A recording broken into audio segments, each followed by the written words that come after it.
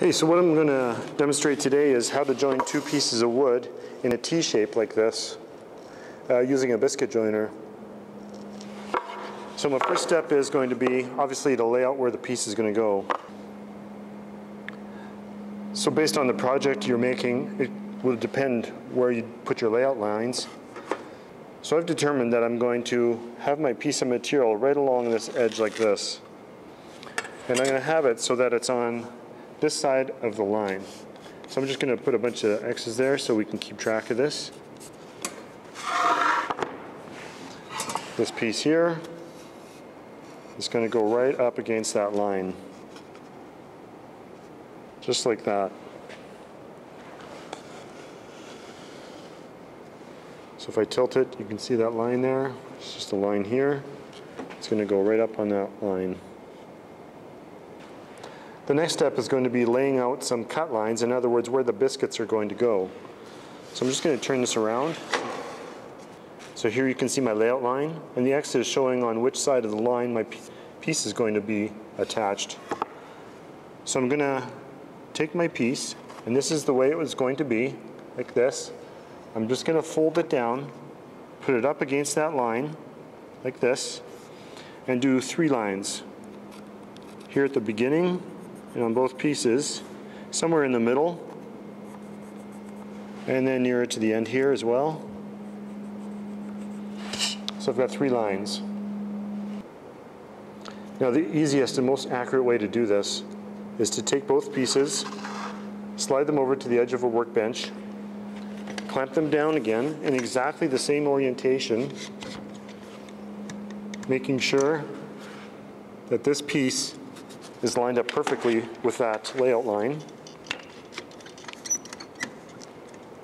Now for this process, we definitely want to have this flip fence in the up position and locked.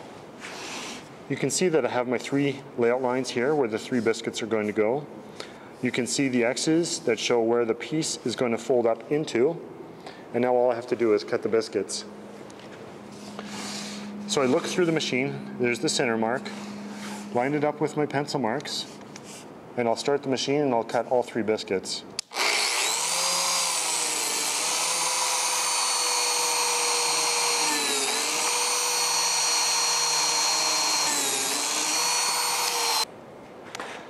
The next step is going to be leaving it exactly the way it is.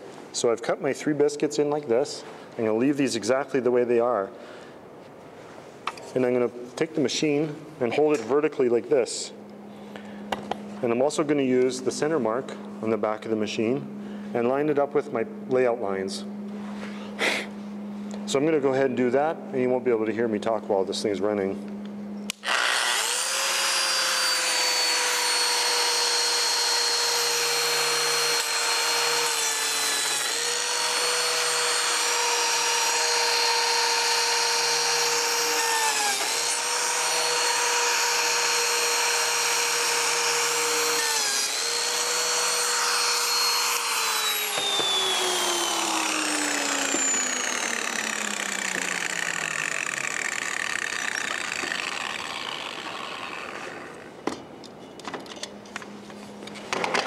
Now we'll just take the clamps off.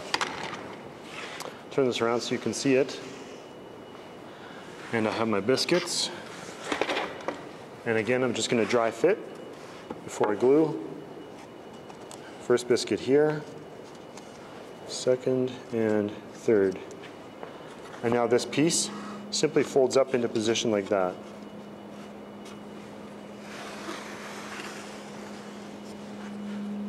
And here you can just faintly see that line, that initial layout line.